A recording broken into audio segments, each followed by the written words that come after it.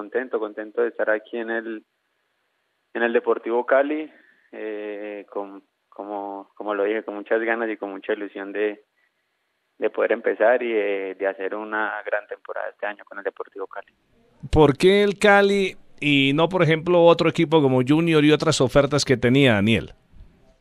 Eh, bueno, con, con mi familia tomamos la decisión de, de venir al Deportivo Cali, primero por, por lo que significa este equipo, por su historia, por, por eh, lo que lo que es el Cali, eh, porque confiamos eh, en el trabajo y en la experiencia también del profe José Luis Pinto, porque también teníamos como un, una meta y era que, tuviéramos la oportunidad este año de, de, que un equipo nos comprara y, el Cali así lo hizo, entonces con mi familia tomamos esta decisión y la verdad estamos muy contentos. Claro, porque el Cali compra el 50% de sus derechos. Daniel, tuvo mucho que ver en la decisión, aparte de lo que nos ha dicho el profesor Jorge Luis Pinto, que desde el principio tenía como una de sus metas que usted llegara al cuadro azucarero. Sí, claro, con el profe Pinto eh, tuve la oportunidad de, conversar. Eh, la verdad, él estaba muy interesado en que yo en que yo viniera aquí al Cali. Y, bueno, al final, gracias a Dios y, y, al, y al Deportivo Cali, que, que siempre estuvo interesado también, eh, se, pudo, se pudo dar, pero, pero obviamente que, que tuvo mucho que ver la, la decisión, el poder estar con el profe Pinto, que es un profe muy experimentado, un profe que, que sabe mucho y, sé que, que voy a, a crecer y a mejorar eh, día a día con él. Seguro que sí. Daniel, en principio, ¿por cuánto tiempo es su vinculación con el Cali? Eh, bueno, firmé por, por tres años hasta diciembre del 2025. Daniel, ¿cómo califica su paso por el cuadro Atlético Nacional?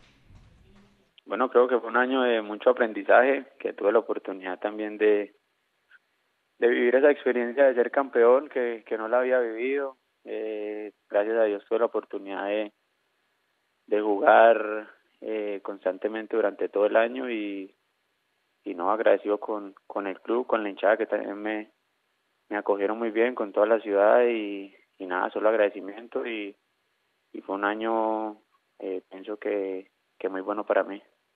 ¿Lo pudo decepcionar un poco que no lo comprara Nacional que tenía la posibilidad, Daniel?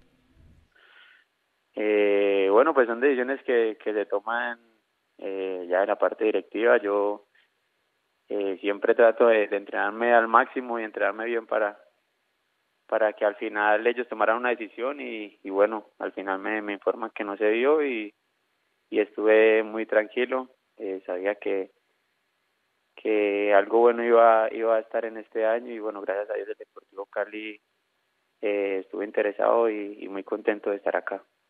Eh, claro, pero ¿le dieron alguna explicación de por qué no lo compraron? Eh, bueno, tenían que hacer uso de, de la opción de compra.